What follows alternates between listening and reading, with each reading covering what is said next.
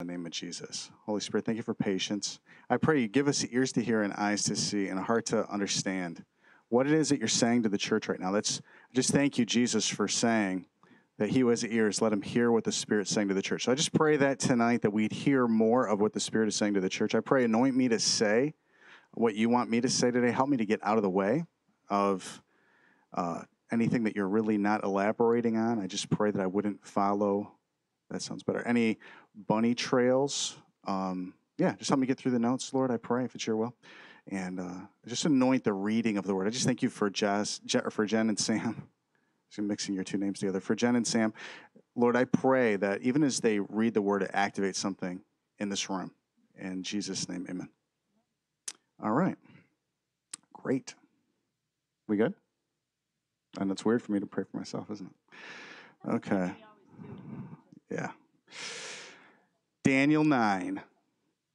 I got new glasses, and they have this funky kind of, I don't know if I like them or not, because in this light, you all look yellow but the, this looks really clear. So, Daniel 9, 26 to 27, the wedding week. This is the last week we're going to spend on Daniel 9. I actually, while I was writing the notes today, I thought for a second that we might do one more week on Daniel 9, but if we do another week on Daniel 9, we'll never get through 10, 11, and 12. So, in that light, I think I gave you guys on the back pew underneath the notes, I think there's a, another extra sheet if there's not, I'll give it to you later. You don't need it tonight. But there's some more information that it just kind of my observations of some news stories about seven year covenants being, yeah, it's posted online as well with links to news stories. Um, I don't really want to go into all that teaching, but if you're interested in what I think about possible fulfillments of Daniel 9, 26 to 27. That stuff is all out there. I've been talking about it for several years, talking about it before it happened, watching it happen, and now kind of documenting some of the stuff that has happened. I'm, it really engages my heart. It amazes me that they're the biggest multi nation covenant ever made on this planet was formed and then confirmed on a very specific date, and exactly 1,260 days later was broken and that was the Paris 170 nation peace treaty, where all the nations of the world decided that they were going to lower the temperature of the earth by two degrees centigrade, which I think is crazy that the people of the earth would think if we band together, we can actually drop the temperature of the planet.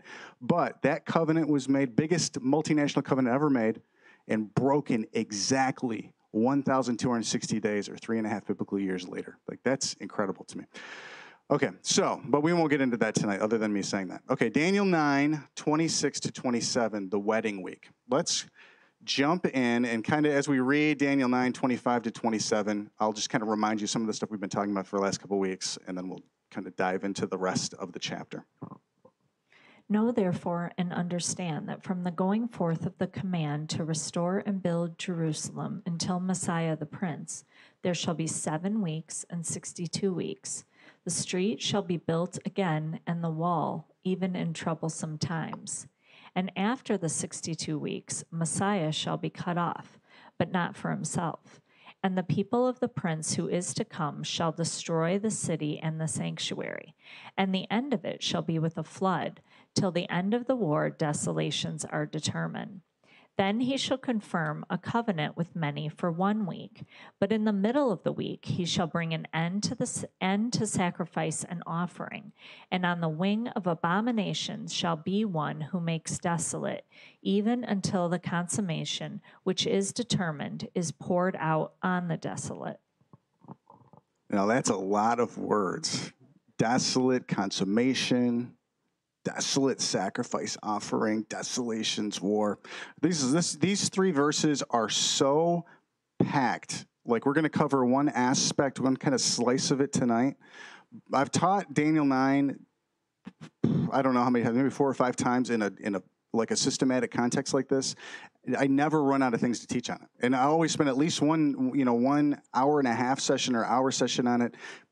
We could do several more just unpacking some of these words. But tonight, I really want to focus on, if you look at the, verse 27, even until the consummation. I want to talk about the consummation tonight because the consummation is really describing the wedding. Now, that's a negative reference to the consummation of the harlot, you know, getting the desolation that she's going to get from the consummation. But there's another consummation that's being described in this passage that we're really going to get into tonight, which is really why Jesus comes twice. Now, I a believer my entire life, 45 years in the church. Like, I don't ever remember not going to church. I never really questioned why Jesus has to come twice until the last four or five years. When I started to study this passage and started to realize this lays out why Jesus comes twice. It, it fills in so many parts of the Bible, the dual fulfillment of prophecy all throughout the Old Testament, a lot of what Jesus was talking to his disciples about, and entirely the book of Revelation if you don't understand why Jesus comes twice, you don't you can't really get a handle on any of those things. And that's mostly what we're going to talk about tonight. Now, last session, we talked about Jesus fulfilling the first 69 weeks in his entrance when he came into Jerusalem in that Passion Week. He came in on Nisan 10, when, which was when the Passover sacrifice was selected in 32 AD. You know, I'm just kind of I'm sticking on that date. That would be, you know, some people would disagree with that. And offering himself as the Passover lamb exactly 483 years from the time that Artaxerxes issued the command to rebuild the city of Jerusalem and its walls in 445 BC. So last week we spent a, a, lot of time just kind of unpacking all of those different commands to rebuild Jerusalem. The last command of Artaxerxes, if you fast forward 483 years to the day, many scholars say Jesus walks into Jerusalem on Nisan 10 as the Passover sacrifice. And we find ourselves in the middle of verse 26 of Daniel 9. So it says, After the 62 weeks, Messiah shall be cut off, but not for himself. That happened that Passion Week when Jesus offered himself as the Passover sacrifice. And then there's a whole other half of that verse that we didn't that, that we haven't gotten to yet. So we're going to kind of pick up right there. That brought us to that midpoint of Daniel 9:26. After the 62 weeks, Messiah shall be cut off, but not for himself. Now the transgression that Israel was guilty of that led her to captivity was not following the leadership of God, yet still operating in elaborate religious practice. And if you remember last week when we were together, we talked about Isaiah 58, and, and the Lord saying to them, "You put on sackcloth. Is that the? Is it? You going to call that a fast? You bow your head low, put on sackcloth for strife and debate." He's like, "No, that's not a fast." So the the transgression is really Israel ignoring the leadership of God, but doing this elaborate religious practice that makes it look like she's agreeing with God. Now, the state of Israel during the so when Isaiah wrote that, that was before the Babylonian captivity, before Daniel ever went to Babylon. Isaiah was saying, "Look, this is the transgression that God is accusing you of. Repent." But she didn't repent, and so she's taken captive to Babylon. Well, that same transgression, the state of Israel is in a very similar place when Jesus comes, fulfilling all the way up to Daniel nine twenty six. Okay, so we have to remember that the 70 weeks are about Israel coming out to finish the transgression. But in the middle of Daniel 9:26, she is in the heat of the middle of that transgression. Okay, so item D, the state of Israel during the ministry of Jesus in 32 AD was very similar to the relationship Israel had with God in Isaiah 58. The Pharisees tithed even herbs but were still guilty of the same transgression that led to the Babylonian captivity. They were doing all the activities of a good wife, but completely unloyal to the leadership of God. So let's read Matthew 23 23 to 39. How terrible for you, teachers of the law and Pharisees, you hypocrites! You give to God one tenth of the seasoning herbs, such as mint, dill, and cumin, but you neglect to obey the really important teachings of the law, such as justice and mercy and honesty. These you should practice without neglecting the others. Okay, I'm going to interrupt you for a sec. So let's think about Isaiah 58 in this context. He's saying the exact same thing that he said to him hundreds of years ago to Isaiah before the Babylonian captivity. 500 and some years later, he's saying the same thing. The earthly Jesus is saying the same thing as God to the same to the religious leaders of Israel. Blind guides, you strain a fly out of your drink but swallow a camel. How terrible for you, teachers of the law and Pharisees, you hypocrites. You clean the outside of your cup and plate, while the inside is full of what you have gotten by violence and selfishness blind Pharisees. Clean what is inside the cup first, and then the outside will be clean too. How terrible for you, teachers of the law and Pharisees, you hypocrites. You are like whitewashed tombs, which look fine on the outside, but are full of bones and decaying corpses on the inside. Okay, I want to interrupt you for, again here for a second, John. Who knows what day was Jesus saying this? This is a test. Just to put it all in context, this is the day that he walks in and he says, You will not see me again until you say, Blessed is he who comes in the name of the Lord. This is when he's going into Jerusalem. He's saying to them the same thing that Isaiah was saying to them, telling them to repent. This he's about at the end of this passage, he's going to say, Your, your city is going to be left to you desolate, and it is. Like this is all happening right here. This is all that context. He's trying to tell them you, you didn't learn anything in the captivity. In all of the rebuilding, you're in the same place you were in before. In the same way, on the outside, you appear good to everybody, but inside you are full of hypocrisy and sins. How terrible for you, teachers of the law and Pharisees, you hypocrites! You make fine tombs for the prophets and decorate the monuments of those who lived good lives. And you claim that if you had lived in the time of your ancestors, you would not have done what they had what they did and killed the prophets. So you actually admit that you are the descendants of those who murdered the prophets. Go, go on then and finish up what your ancestors started, you snakes and children of snakes. How do you expect to escape from being condemned to hell? And so I tell you that I will send you um, prophets and wise men and teachers. You will kill some of them, crucify others, and whip others in the synagogues and chase them from town to town. As a result, the punishment for the murder of all innocent people will fall on you. From the murder of innocent Abel to the murder of Zechariah, son of Berechiah, whom you murdered between the temple and the altar. I tell you indeed, the punishment for all those murders will fall on the people of this day. Jerusalem, Jerusalem, you kill the prophets and stone the messengers of God that God has sent you.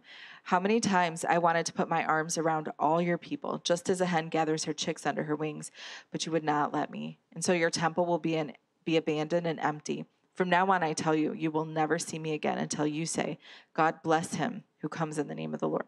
Okay, now you're going to notice in the notes tonight, I've got red circles around things that are all related. That's what the red circles are going to be. So when you go back and look at these notes, I want you to be able to tie this all together again. This is really important, actually. What Jesus is really telling Israel is that we're, we're, I'm betrothing myself to you. We're married. I wanted to gather you together. I'm going to get my bride and I'm going to get my bride when you invite me to be your groom, is basically what he's saying right here. And I'm going to lay that out for you tonight. But this is him betrothing himself to Israel. Now, this is the spiritual condition of Israel in the midpoint of Daniel 9:26, when the Messiah was cut off but not for himself. So let's go back to page one for just a second and look Can at I verse. ask you a question? Mm-hmm. Did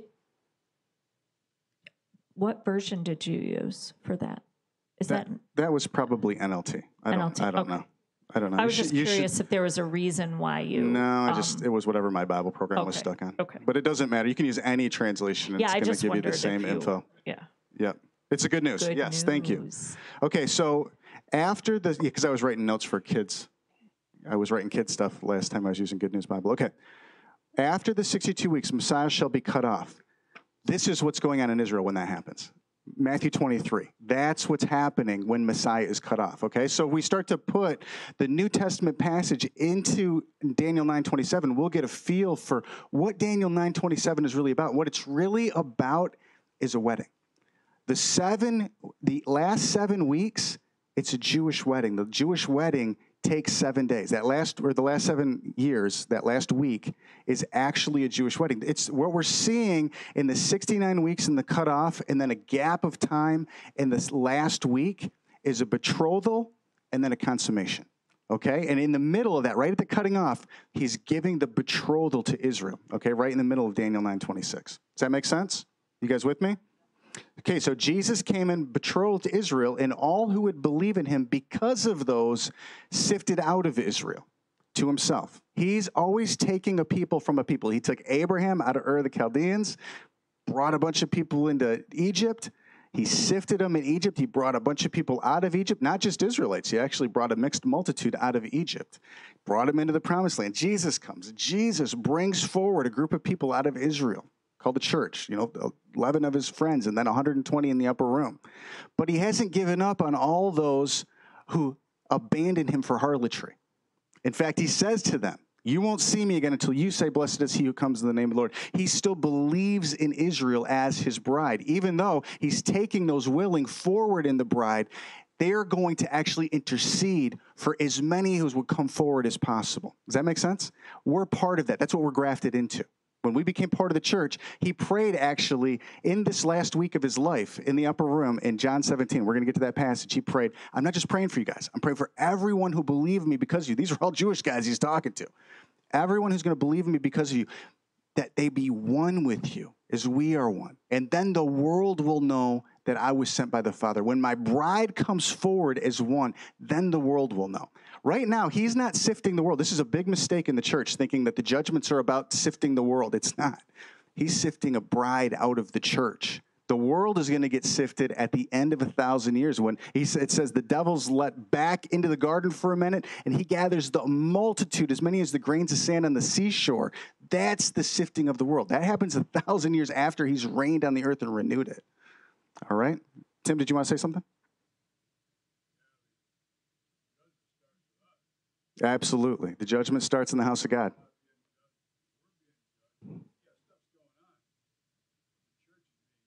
Yes. Absolutely.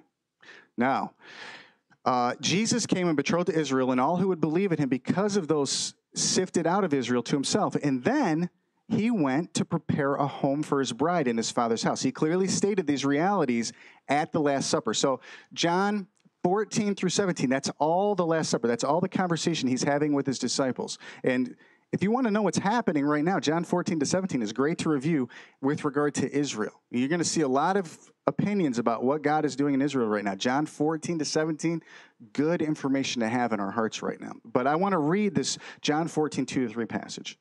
In my Father's house are many mansions. If it were not so, I would have told you. I go to prepare a place for you. And if I go and prepare a place for you, I will come again and receive you to myself, that where I am, there you may be also.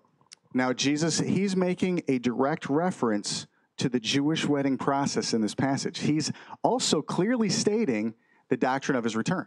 Like, he's really clear I'm going to come twice and it's about a wedding. Okay, now Jesus comes twice because of the wedding reality. A Jewish wedding consists, consists of two distinct processes a betrothal. Let's read Matthew 1 18.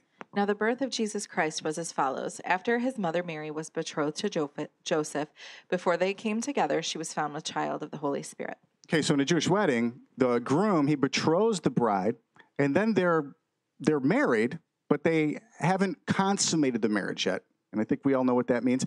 But the, the groom, he goes to his father's house and he builds another you know, addition to his dad's house that he's going to come eventually and get his bride and take her to be with him where he is. But she lives in her father's house during the betrothal period. This is actually what he was doing with Israel at this time. He was betrothing them to himself and then saying to his friends, he's like, This is what's going on. I'm going to go and make a place ready for us, and then I'm going to come back and get you. I wouldn't say it if it weren't so he is coming back for a bride. He's coming back for everyone who will say yes to him. Okay, now, from this is from myjewishwedding.com. This isn't from a Christian source. This is actually from a Jewish source, a wedding planning source, but you know, history of a Jewish wedding. Until the late in the Middle Ages, marriage consisted of two ceremonies that were marked by celebrations at two separate times with an interval in between. So there's an interval. The point of me bringing all this out is in Daniel 9:26. Let's go back to Daniel 9 on page 1 of the notes. And after 62 weeks, Messiah shall be cut off, but not for himself.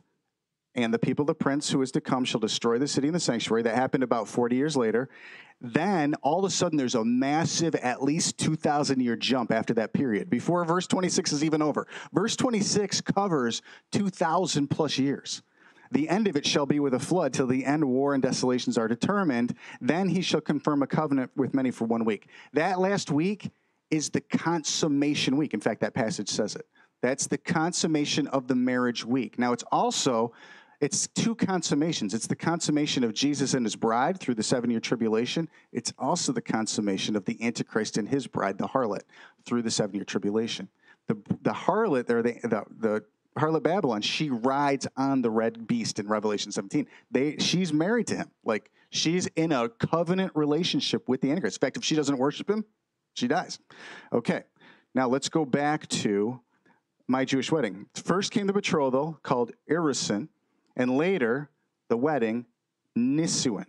At the betrothal, the woman was legally married, although she still remained in her father's house. Now, during betrothal, the groom would go and build a new section onto his family home for the couple to live in. The second process is Nisuin. So the first process is the betrothal or the Erusin. The second process is Nisuin. When the groom returned for his bride, Nisuin would then commence, and Nisuin lasted a full seven days or a week. Now, Jesus confirmed in Matthew 23 what Isaiah had prophesied in Isaiah 62 that God was married to Jerusalem. Jesus is married to a city. Did you know that? Like, I think if we don't really study this, we think, well, he's married to me or he's married to all of us together. We're the, we're the bride. But actually, every time he talks about it, he says, no, I'm actually married to Jerusalem. He's married to the city of his throne and all who care about Jerusalem. So if you go to Ezekiel 9, you want to see how to get sealed, like that Revelation 7 seal, moan and sigh over the abominations done in Jerusalem. Now, Jerusalem, the new Jerusalem coming down out of heaven, actually turn with me for a second to Matthew 21.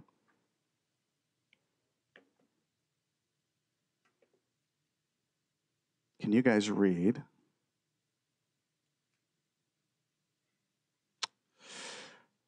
Let's see here. Yeah. Let's go to Matthew 21 and let, or I mean sorry, Revelation 21 and read verses 9 Revelation 21, sorry. Revelation 21. It's way at the end of the Bible. It's like the la- second to the last page. And we're going to read verses 9 and 10.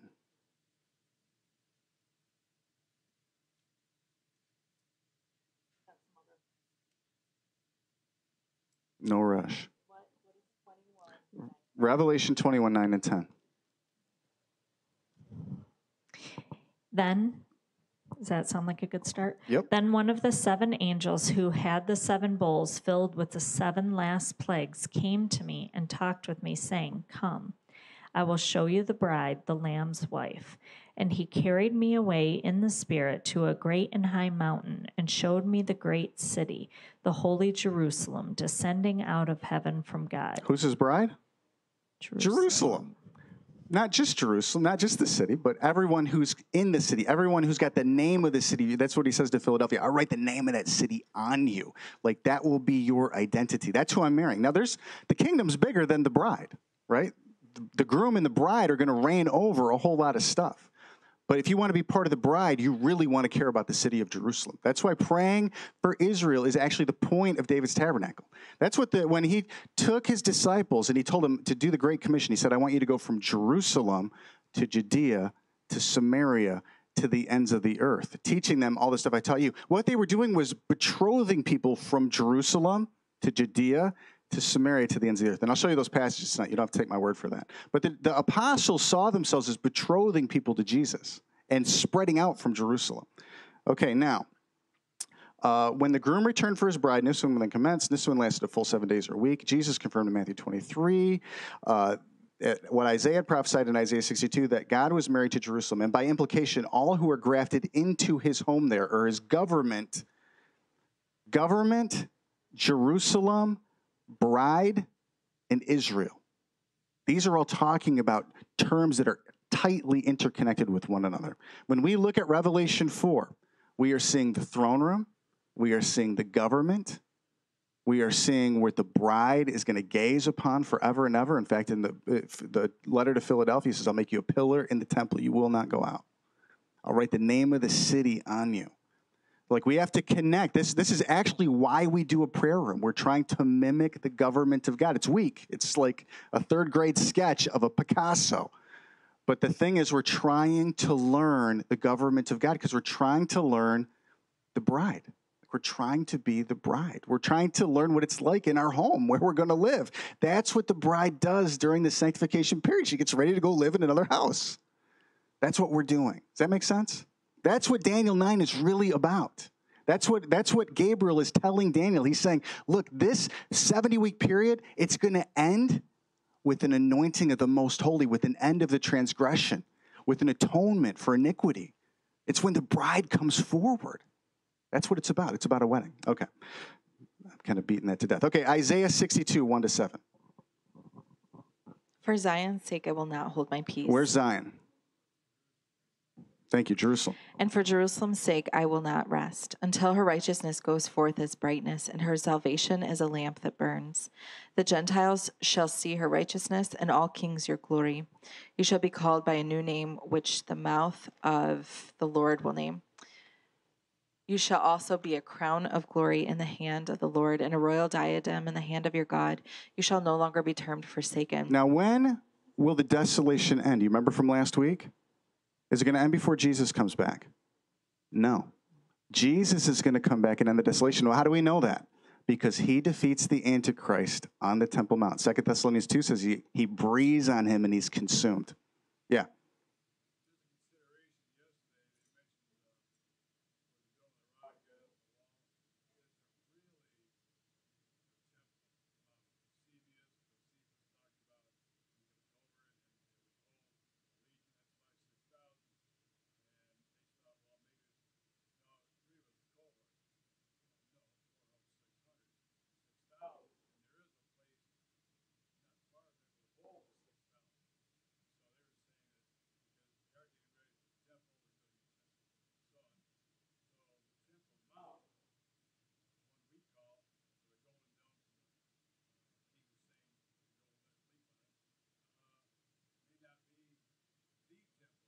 Yeah, you know that's that's actually ever since I started looking at this stuff. That's just, that's a thing that comes up over and over. There's people that have done archaeological studies. What Tim is saying is that there's a there's a the theory that abounds in Israel. It, it really mostly abounds with Christians that are hoping that the temple would be rebuilt. Most, very few Jewish people believe that. But there's a theory that abounds that there everybody's wrong about where the Temple Mount is anyway. The place that it's actually it really isn't a disputed spot at all. I disagree with that based on the dispute. I mean, the enemy is warring against this prophecy coming forward.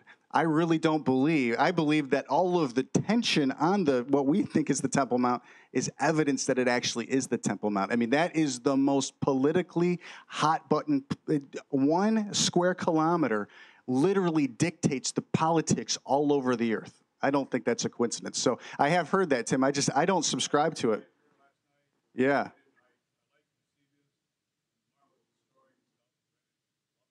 Yeah.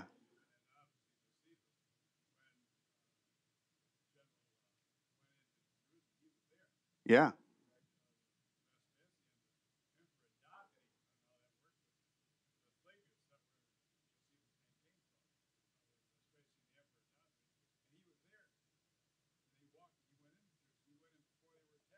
Yeah. A lot of hand signs. Yeah. And they, they, they instantaneously backed away from that piece of ground. I mean, that, that if you look, blood moons broke out when Israel became a nation 1949, 1950 during the War of Independence. Blood moons broke out when uh, they got the city of Jerusalem, 67, 68. Blood moons broke out 2014, 2015, and Israel started ascending that hill like crazy. The skies are declaring, in my opinion, that that is the Temple Mount. Now, Jesus is betrothed to a city, and everyone who agrees with him about that will be one bride with her. So, Jeremiah 3, did we finish that? Isaiah 60? Let's finish Isaiah 62. You shall no longer be termed forsaken, nor shall your land any more be um, termed desolate, but you shall be called Hephzibah, and your land Beulah, for the Lord delights in you, and your land shall be married. For as a young man marries a virgin, so shall your sons marry you. Okay, now don't get caught up in the flowery language here. What he's what what Isaiah is saying is Jerusalem, the Lord is saying through Isaiah, Jerusalem, you won't, there's coming a time where you won't be forsaken, you won't be desolate, you will be beautiful. Hephzibah means beautiful, land Beulah, and who the, what the Lord delights in. Your land shall be married. Okay, now he says, as a young man marries a virgin, so shall your sons marry you. If you go to Revelation 12, you'll find out the, the offspring of Israel, the sons of Israel, the daughters of Israel, are the church.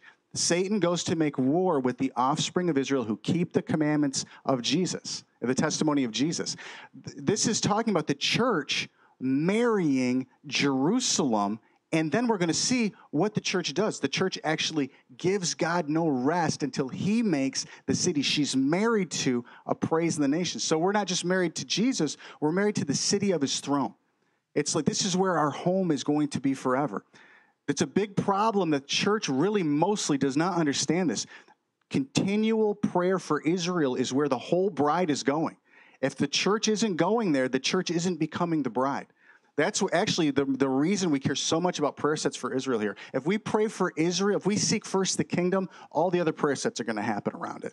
He cares about all the realities that are tied to it. But if we get that wrong, if we start ca- trying to put out all the symptoms and never get to the disease, we'll never catch up with the symptoms. We touch this disease, all of the symptoms will line up with it, okay?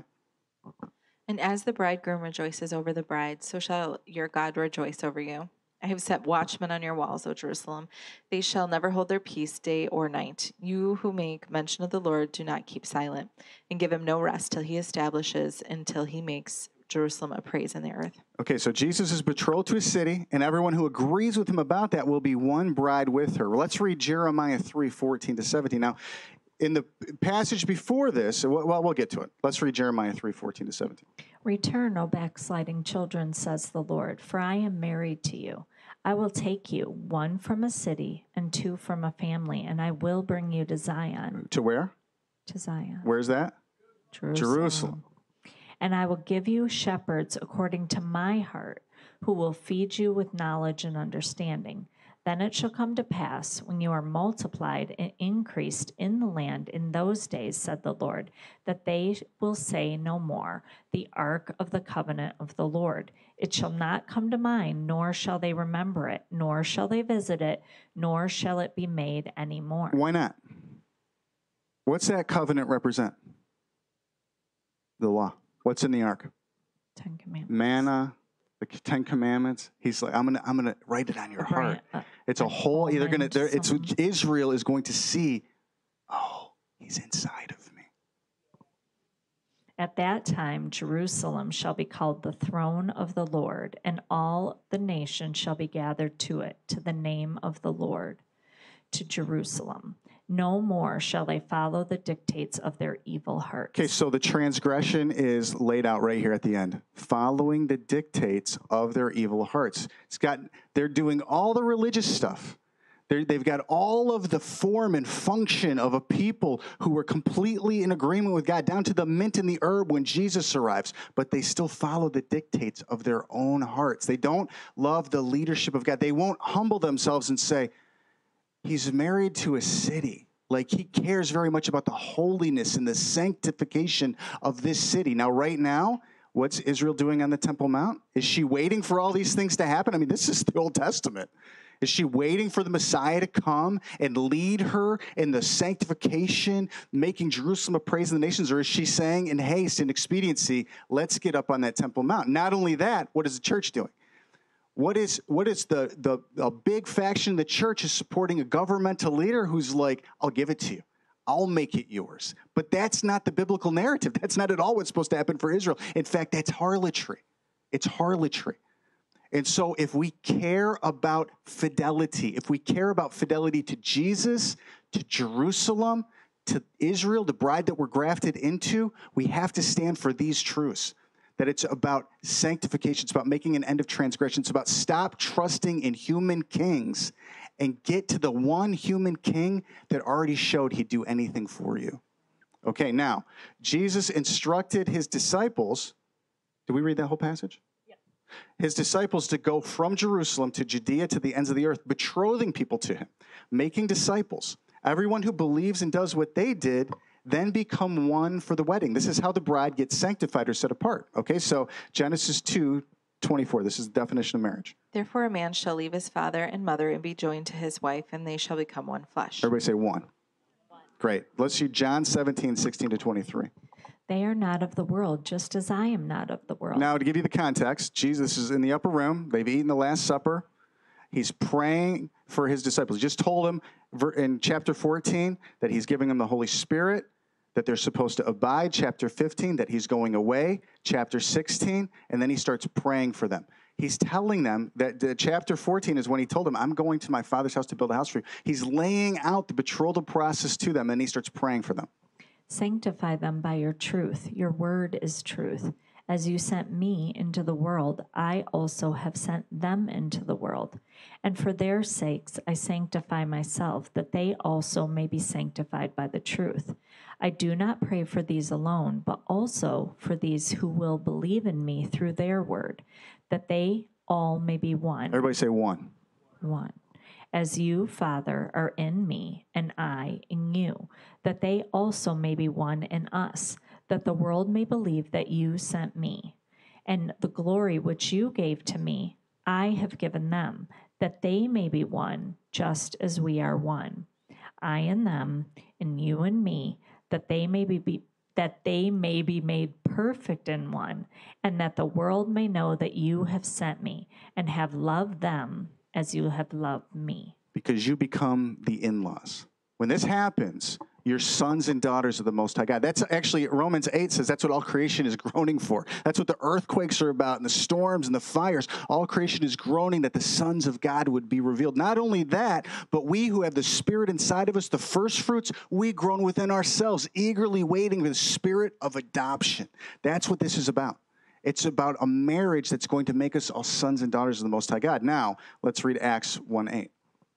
But you shall receive power when the Holy Spirit has come upon you, and you shall be witnesses to me in Jerusalem and in all Judea and Samaria and to the ends of the earth. Now, when the betrothal message has gone from Jerusalem to Judea, now when did it go to Jerusalem? Acts 2. Judea, you can read about that in the book of Acts. Samaria, and then we start to see the ends of the earth, even in the book of Acts. We live in the ends of the earth time because of communication, because of the internet, because what was broken up at Babel in Genesis 11 is now reconnected. I could literally talk to some Ukrainian kids about Jesus with Google Translate in the room and tell them real, spiritual realities. That's coming back together. That means the betrothal message has gone to the ends of the earth. When that happens, then the Nissuin would begin. The apostles saw themselves betrothing disciples to Jesus. Let's read what Paul said about that in 2 Corinthians 11, 2 to 3. Sorry. For I am jealous for you with godly jealousy, for I have betrothed you to one husband, that I may present you as a chaste virgin to Christ. Do we see this when, when we go out to the to wherever we go on Saturday? Is this what we see? Or do, do we see, you know, I just want to go out, you know, tell people about the love of God and get kind of an amorphous, hey, you know, Jesus loves you, and you could say the prayer? Or are we like, I'm telling you, he's coming, he wants to marry you, and you need to get ready. You really do and I'm sanctifying myself that you might be sanctified.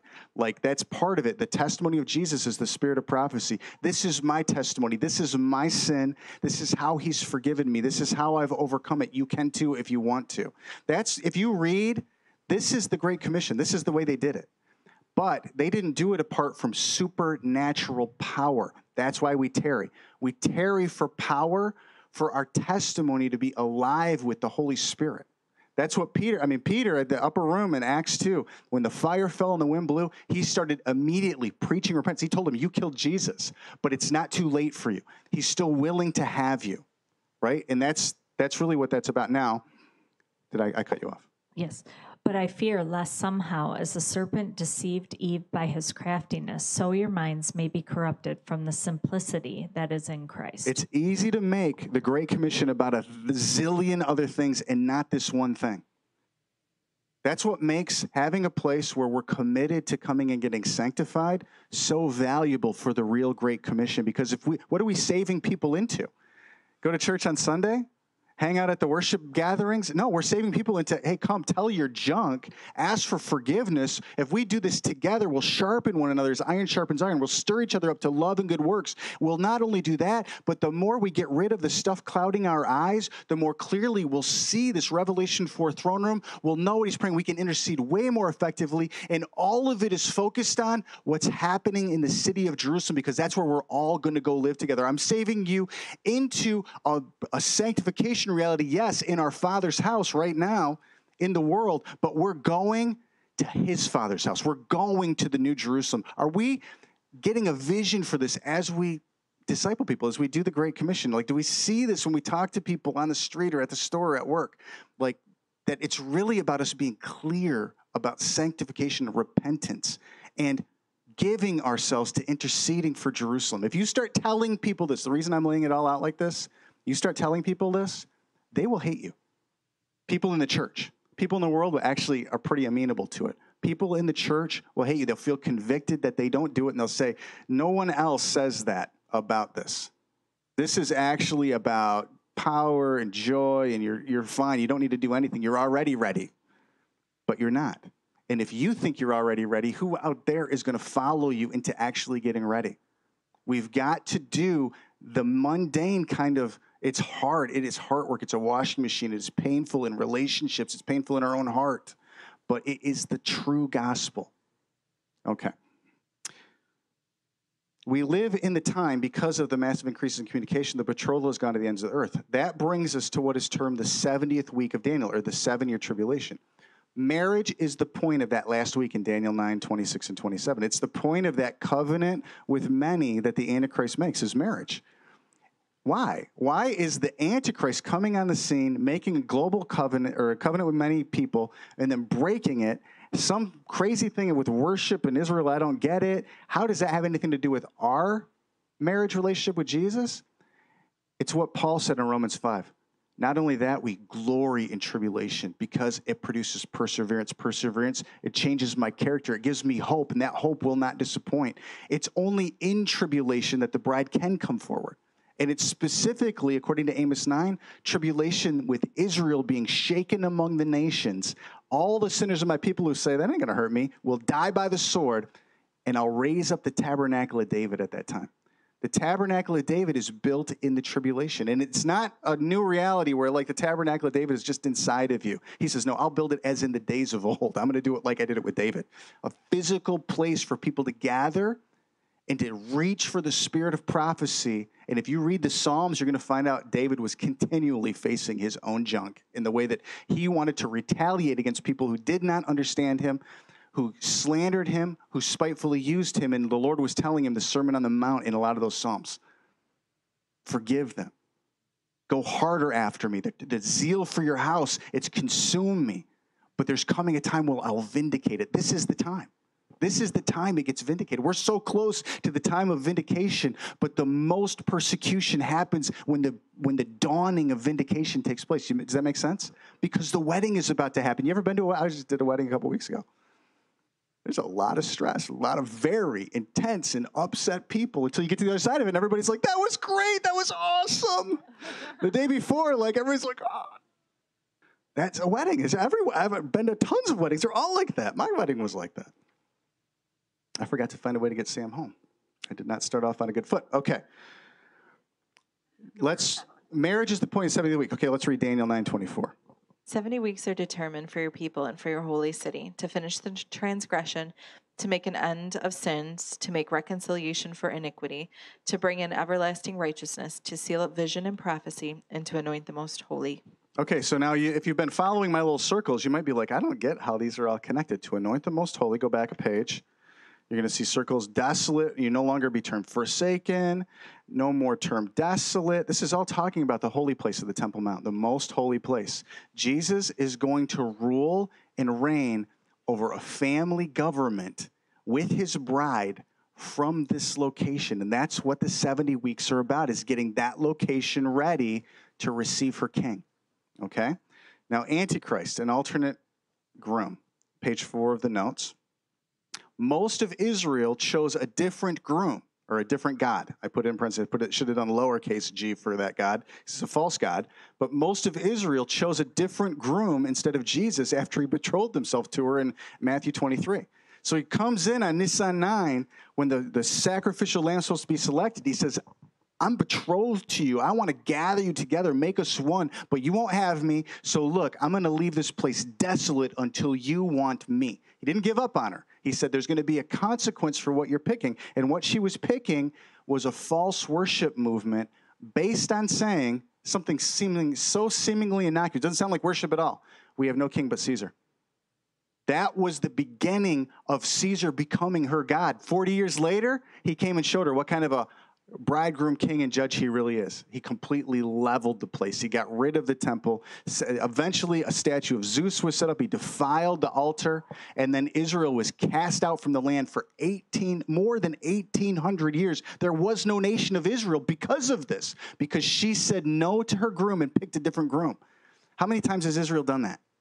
If you look at the Bible, many, many times, all the way back to King Saul you can go back even further than that, but the most clear first instance is when she demands from Samuel a king, and he says, They're not rejecting you, Samuel. It's not that they think you're a bad judge. They don't like me. They don't want me. They don't want me to be their dad. Just like they didn't want me to be their dad all the way back in the Garden of Eden. Mankind does not want me to be its dad, but some do. Some do. That's you. Some do. Right? It's hard. You get into this process, you're like, I don't know if you're a good dad. Like, this is hard. It hurts my heart. And he's like, trust me, have faith, walk through it. If you do it, your, your spirit of prophecy to others, the testimony of Jesus. Jesus, we could not do this without Jesus. Sanctification is impossible. It's a miracle. It takes Jesus to love Jesus. It really does.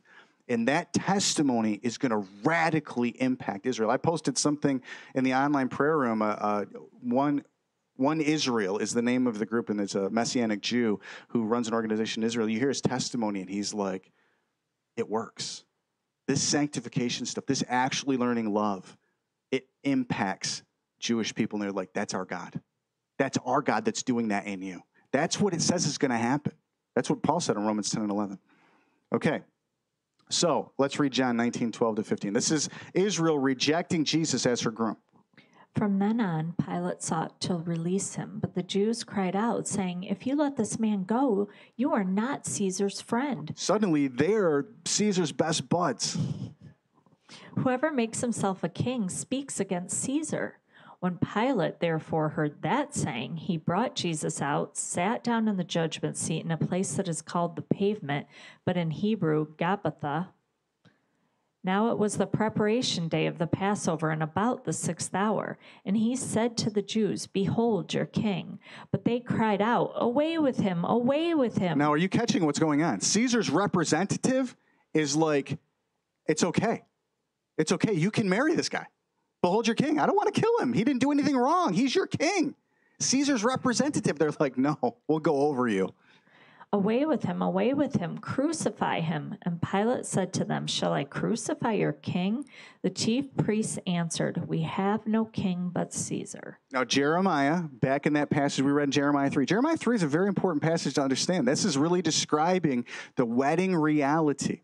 Jeremiah prophesied that Israel, who is seen here committing adultery, this is adultery. This is false worship right here. This is this is I mean, if you want to understand harlotry in the Old Testament, this is what it is. It's wanting man to be God. That's harlotry. Okay? And, and false gods, other, other demons that are working through men. Okay, now, Jeremiah prophesied that Israel, who was seen here committing adultery, would be gathered to her groom in Zion or Jerusalem. We read that passage in Jeremiah 3. Harlotry is wanting a human king other than Jesus. Now, Israel claiming she had no king but Caesar was literally claiming she wanted Caesar for her groom as well because that's the only way Israel was supposed to exist was that God was her father, king, and groom.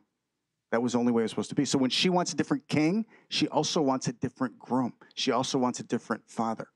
You can't separate them. They're three and one. Okay, so let's let's read Jeremiah 3, 6 to 9. The Lord said also to me in the days of Josiah the king, Have you seen what backsliding Israel has done? She has gone up on every high mountain and under every green tree, and there played the harlot. And I said, after she had done all these things, Return to me. But she did not return. And her treacherous sister Judah saw it. Then I saw that for all the causes for which backsliding Israel had committed adultery, I had put her away and given her a certificate of divorce.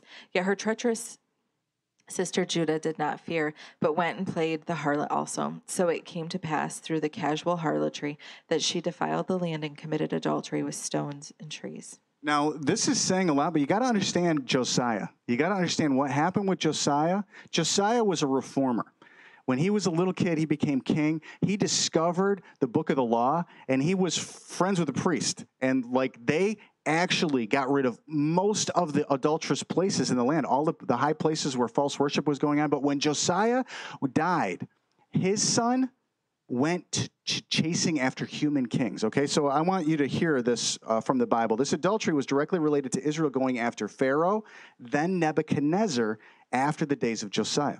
So, right after Josiah, his son led Israel first into trusting Pharaoh, like wanting Pharaoh to protect them from all the enemy, the bad guys around her. And then, when that didn't work, Jehoiakim, he went to Nebuchadnezzar and he was a vassal of Nebuchadnezzar's for three years. This is the adultery that God is laying out in this passage, okay, in the Jeremiah passage. So 2 Kings 23, 34 to 35.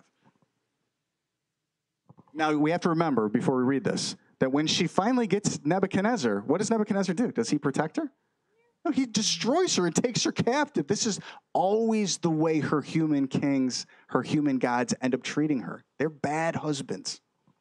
Then Pharaoh Necho, Necho made Eliakim the son of Josiah king in place of his father Josiah and changed his name to Jehoiakim. Joachim, I think, is actually, yeah. Okay. Well, and Pharaoh took Jeho- Jehoahaz and went to Egypt and he died there. Oh, so Jehoiakim gave the silver and gold to Pharaoh, but he taxed the land to give money according to the command of Pharaoh. He exacted the silver and the gold from the people of the land, from everyone according to his assessment, and he gave it to Pharaoh Necho. Now, what was supposed to happen with the silver and gold? It's supposed to go into the temple. Okay, let's read 2 Kings 24 1. In his days, Nebuchadnezzar, king of Babylon, came up, and Jehoiakim um, became his vassal for three years. Then he returned. Then he turned and rebelled against him. Now, this is the same type of adultery Israel was guilty of in the rejection of her groom Jesus. So, all this happened before the Babylonian captivity, but the same thing was happening at the time of Jesus. You see what I'm saying? The same thing's happening now. Like whether you realize it or not, Israel kind of bounces back forth between Putin and Trump, like on a almost bi-monthly basis, looking for the best deal for her protection, security, and economic gain. It's the same exact thing. We need to be a people. If we're people of the groom, we need to say the true thing about that. That doesn't mean that Trump is a bad guy. He's no worse than anybody else. Doesn't mean that Putin's a bad guy. They're all made by God, but we are married to him and we're married to that land and we need to have fidelity for it. What do you want to say, Tim?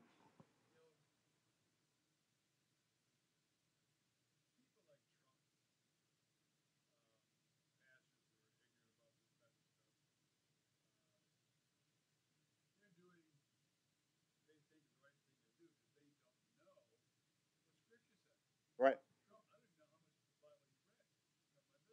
Very little, I would say. A guess.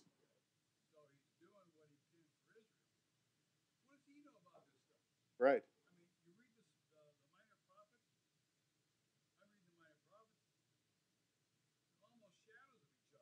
Yes. Yes.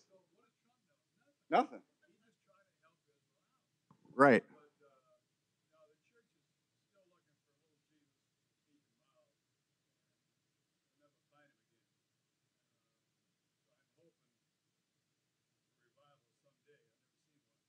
And, and what I, I, agree with you, Tim. I, I think the answer is repentance for us, like in this room. We are the church.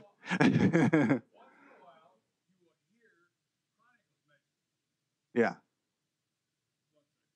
Yeah. Right. Us. Yeah. Yeah.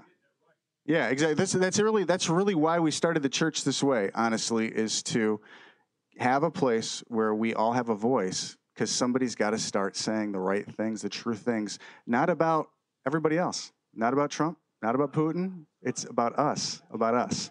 And that's really all these passages are laying this out for Israel. Israel does the same thing that we do. She's, she's very self righteous. It's everybody else that doesn't get it. We, we and, and neither are we if we're self righteous. Yeah. Yes. Tim says they're not, not believers, they've been legalistic. And, and so are people who name the name of Jesus if they're not repentant and growing in sanctification. It's just as fake as Israel. Like, and so that's really the point of a place like this. And that's really, I mean, there's so many Bible passages about that. Now, less than 40 years after that we yeah, we read that. Okay, less than 40 years after Jesus betrothed to Israel, and she mostly rejected that betrothal for another groom. That groom returned and showed her what kind of a husband he really was. Caesar is who destroyed Jerusalem in 70 AD. So she's yelling, we have no king but Caesar, and he, Caesar came and became their king. Everybody gets what they want. So if we want Trump to be our king, you're going to get him at some point in time. If you don't, you got to come out of it. Now, that doesn't mean you don't pray for them. That doesn't mean that you don't it, it contend for all of the realities, primarily contending for what's going on in the city of Jerusalem. But I'm telling you right now, the American administration is manhandling Jerusalem in very negative ways, and Jerusalem seems very excited about it. That's very bad news.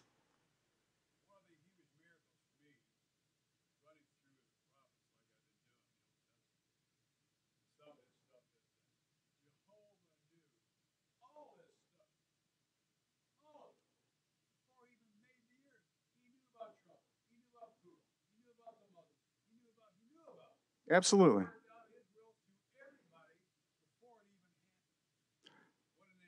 Kind of. Yeah. It kind of because he refuses to do it apart from us knowing all that stuff, Tim. I mean, he could have done all this a long time ago if he wanted to. When the end in Revelation 19, Tim, in in Revelation 19, do you know who the what what mighty amazing archangel grabs Satan by the tail and locks him up? None. It's just an angel. It's a lowly angel. I, am I'm, I'm joking. I mean, the, the point is, just an angel goes and grabs Satan and locks him up. Jesus could defeat Satan anytime he wants to. He's waiting for a bride to come forward that cares about this stuff, studies it. He does, but we don't. That's the problem. Yeah. Yeah. Okay. So Less than 40 years after Jesus betrothed to Israel, and she mostly rejected that betrothal for another groom, that groom returned and showed her what kind of a husband he was. Caesar destroyed Jerusalem in 70 AD, set up the abomination of desolation. It should be noted that this process occurred over almost 70 years. It took like 70 years for this, from the time it started to the time it was consummated. There was more than one Caesar who accomplished this Vespasian, Nero, Titus, and Domitian. By 136 AD, Jews were no longer allowed in the city of Jerusalem at all and were scattered to the nations until 1948. That's just the, the truth of what Jesus declared over her. Now, Gabriel, he prophesied that the people of the prince who was to come would accomplish this desolation that Jesus promised on Nisan 10 and 32 AD. So, 500 years before that, Gabriel told Daniel that the prince who is to come would be the one responsible for all this destruction. Daniel 9, 26 to 27. Let's read that one more time. And the people of the prince who is to come shall destroy the city and the sanctuary. The end of it shall be with a flood, until the end of the war desolations are determined. Then he shall confirm a covenant with many for one week. But in the middle of the week he shall bring to an end to sacrifice and offering. And on the wing of abominations shall be one who makes desolate, even until the consummation which is determined is poured out on the desolate on the desolate. Now, it's important to understand history at this point. Titus, who was Vespasian's commander, he later became a ruler, laid siege to the city of Jerusalem in 70 AD.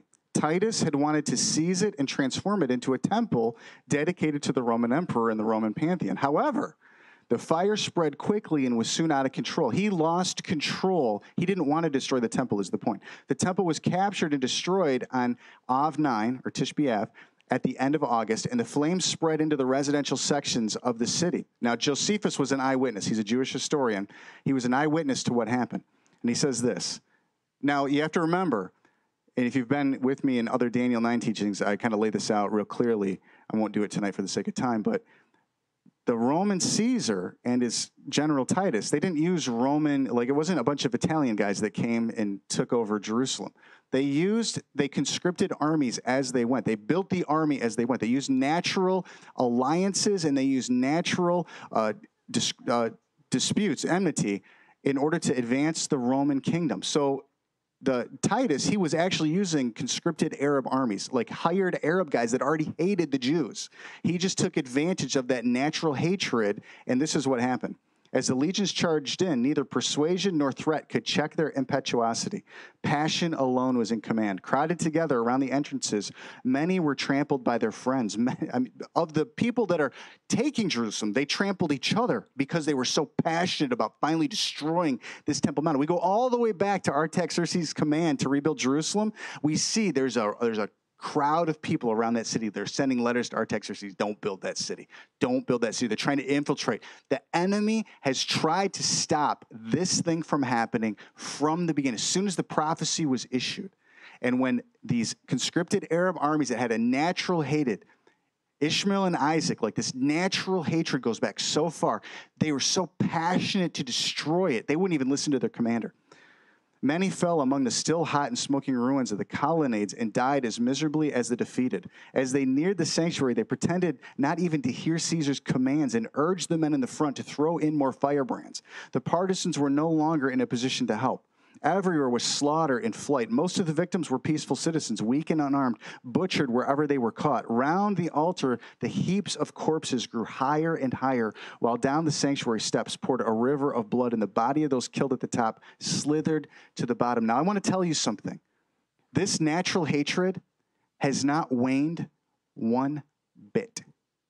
And what's happening right now, Western powers are aligning with Middle Eastern countries where the kings might see some good in aligning with the United States and the Axis powers, but the people of those countries feel this same way. And they will until they learn the love of the groom. They're made by God. God loves Muslims, He loves the Arab peoples. There's lots of Arab Christians. But the point is, trying to get a coalition of nations together to self interest and based in self interest, to try to resist Iran together with Israel, this is what's going to happen. That's what happened in the past. There's coming a point where those, those alliances will break. In Islam, it's a, it's a tenet of Islam. The enemy of my enemy can be my friend until we get rid of the enemy, and then we're enemies. That's happening right now. We do not understand Eastern mindsets at all as Western believers. We don't understand Eastern mindsets. It's an entirely different reality. There's an entirely different set of ethics and morals, not based in Judeo Christian ethics and morals. You, what, what partnership can light have with darkness? Now, right now, literally as we speak, the entire Middle East is waiting for the American president to roll out a peace plan that divides the land of Israel, that literally shares the Temple Mount. We're in these days. This is us. And we are the bride. We're the people that, if we take seriously what seems like such weak sanctification, just tarrying for power, and then using what we get to go out and be a witness and a testimony of our groom and what it means to be ready as a bride, it will make all the difference in the world. It's the only plan. There is no plan B. Okay, let's go to page six of the notes. We're going to wrap up here in two more minutes. No, two. Exactly two. Maybe four. The people of the prince who is to come were conscripted Arab armies, had a natural hatred of the Jews. Gabriel promised that at the time of the end, a man would emerge like the Caesars, who also cooperated with Arabs naturally aligned against Israel. He would confirm a covenant with many nations for seven years. In the middle of the week, the one who made the covenant would break the covenant approximately three and a half years later. Now, the point of those little sheets that I posted on the internet or that I handed out is to show you there are news stories, like literally documented, very clearly documented news stories of the biggest covenants ever made on the earth being broken exactly three and a half years later. One, the Iran P5 plus one negotiation covenant. It was made on a very specific date, confirmed on a specific date. Exactly three and a half years later, the president of the United States come out and said, I'm going to I'm to undo what the last president did. Same thing with the Paris 170 nation climate agreement. Literally 1,260 days to the day said he's going to break it. That's very negative. That's not positive. That's negative. Believing that the earth doesn't need a climate solution is antichrist. Jesus is going to come and radically change the whole climate. Now, believing that a man could do that is also antichrist. But we have to be in the middle of that. We have to say, yes, it is right that the, that the, the climate be addressed in this, on this planet. But a man can't do it. The nations cannot gather and drop the planet's temperature. Only Jesus can. That's the clear witness. And what the enemy wants to do is get us to fight the very thing that Jesus is trying to bring forward. He's bringing forward climate, climate initiatives for sure. He's going to remake the entire earth back to the Garden of Eden. He's bringing forth health care like you wouldn't believe. He's going to resurrect bodies. He's bringing forth redistribution of wealth. He's the biggest communist you're ever going to find. He's going to take from some. He's going to make some who are first now last. He's going to some, make some who are last now first. And if we find ourselves fighting a political war against Jesus' ideals because it's not Jesus bringing it forward, we're fighting Jesus too. They're his ideals. But if we say all those ideals could be done by a man, we're fighting Jesus. So the only solution is to get above all of it, to become a bride, to go hard after the Lord. Are you with me? Okay. All right, now Gabriel promised at the time of the end a man would emerge who would do these things. That's what these covenants are about. These covenants are false marriage covenants. Literally, several were made. And I documented on Facebook in, in, in June of 2017. Several covenants were made and broken by the same office in the United States. Made and broken three and a half years later. That should, if that's not it, we should at least repent like it is. You see what I'm saying? Why wouldn't we? We'd be crazy not to. Why would we say that's not it? Because John said, little children, it's the last hour. There's a bunch of antichrists. We're just waiting for the one. We can say that too. We have license to say that. We can say it's the last hour. People will say nobody knows the day or the hour. I'd say it's the last hour. I would have said it 100 years ago. It's the last hour. It's a biblical thing to say. It's unbiblical to say it's not the last hour in the middle of the week, the one who made the covenant would break the covenant approximately three and a half years later. This man would be a false groom to Israel, just as Caesar was. We call him the Antichrist. Just like Antiochus Epiphanes and Caesar, Jesus said to understand the nature of the Antichrist and the defiled worship offered on the Temple Mount because of his false betrothal. The Antichrist is falsely betrothing himself to the he makes promises he cannot keep, which begins with the covenant of many nations. Okay, so I want to end with Matthew 24, 10 to 12, 22. And then many will be offended, will betray one another, and will hate one another. Then many false prophets will rise up and deceive many. And because lawlessness will abound, the love of many will grow cold. Do you see this happening right now? He's actually talking to his best friends. He's talking to what's going to be the church. Do you see that as things get more intense? The offense in the church, the betrayal in the church. I mean, look at Willow Creek. It's crazy what's going on in the evangelical church right now. And almost no one is really talking about it. The news is talking about it. Secular people are talking about it. The church is having almost no conversations about what's happening, the division in the church. Um, but he who endures to the end shall be saved. And this gospel of the kingdom will be preached in all the world as a witness to all the nations. And then the end will come. Okay, I'm going to interrupt you a couple times, Jen. That gospel being preached, that betrothal is going to go to all the nations, and then the end will come. Therefore, when you see the abomination of desolation spoken of by Daniel the prophet standing in the holy place, whoever reads, let him understand. Then let those who are in Judea flee to the mountains. And let him who is on the housetop not go down to take anything out of his house. And let him who is in the field not go back to get his clothes. But woe to those who are pregnant and those who are nursing babies in those days. And pray that your flight may not be in winter or in the Sabbath, for then there will be great tribulation, such has not been since the beginning of the world until this time, no, nor ever shall be. And unless those days were shortened, no flesh would be saved. But for the elect's sake, those days will be shortened. Where is this troubled centered on? If you live where? Judea. You live in Judea, flee to the mountains. Is there going to be righteous temple worship before this all goes down? No, because this is the greatest desolation of this city that the earth is ever going to see. The right worship comes after the anointing of the most holy. Does that make sense? So we have to be very clear because he said they're going to say he's in the inner room. He's out there. He's in the wilderness. He's here. He's there. Don't don't follow him. I will not be here till you see me flash like a sign in all of the heavens. Then I will come down and then I will start to rebuild my government on the earth with my bride. There is no righteous ascension of that Temple Mount by anyone connected to Jehovah until the Jews go up there and say, The cornerstone rejected is the chief cornerstone. Blessed is he who comes in the name of the Lord. We got it wrong. That's the right ascension. Until then, anybody that helps them ascend is not helping them. It's giving them false comfort that they could do this without God. They cannot. Does that make sense? All right. Steph, you want to come back up?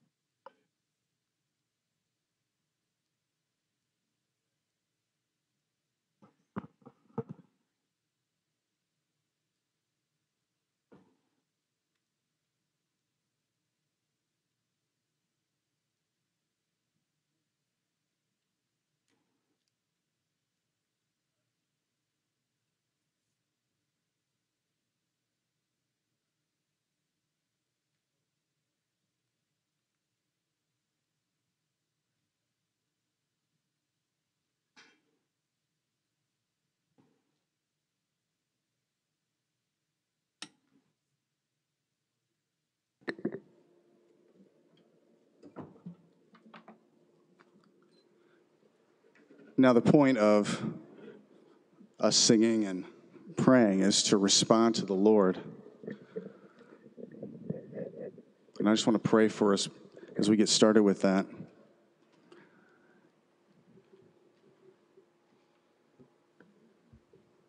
Understanding the biblical narrative in Israel is so crucial right now. It's just like, it's almost untaught in the church.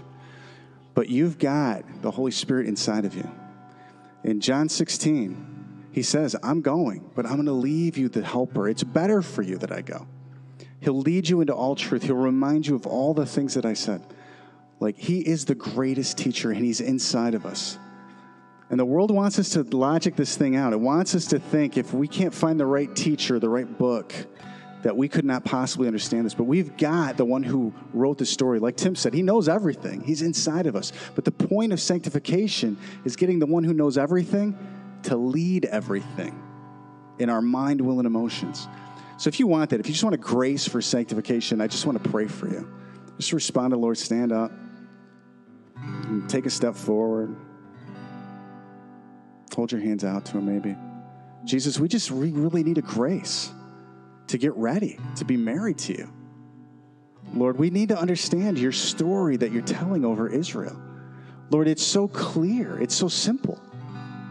Would you give us eyes to see Jerusalem the way you see her, Lord? Would you give us eyes to see when we see news clips of Jews ascending the Temple Mount? Lord, there's a little part of my heart that's like, hooray, and I totally separate it from the story. Lord, would you let me see the desolation that's guaranteed to come out of all this? Lord, would you make me clear? Just tell him if you want to be a clear voice to those you love, would you just make us a clear voice in the city, Lord? I just pray for a great awakening of the church in Kalamazoo for Israel, for Jerusalem, for you, Jesus, for the marriage supper of the Lamb. Lord, for politics, I just pray, would you give us a clear voice that is full of love, that has dignity for the people that you made, that doesn't use people, Lord, to do things that people shouldn't do. Lord, would you touch us with wisdom and revelation? All over this room right now, would you just pour out, Lord? Pour out a vision for being refined like gold. You just pour out a vision. Yes, thank you. Yeah, just pour out gold. I pray for gold to just touch us tonight. Just the gold from heaven. Would you show us, Lord, how we're storing up gold like sanctification in heaven? That the righteous acts of the saints are what we're going to wear before you those clean white garments. It's just what we do. It's what we care about, Lord. It's the truth that we align with. You just touch us right now in this room, Jesus. Yeah, just anoint us. Anoint us, Lord, like your bride. Anoint us to it, just to come clean with you about the things where we deny your leadership, where we choose another groom. Lord, we just do it so many times. We just want somebody to give us the check or come and fix the thing or take away the problem.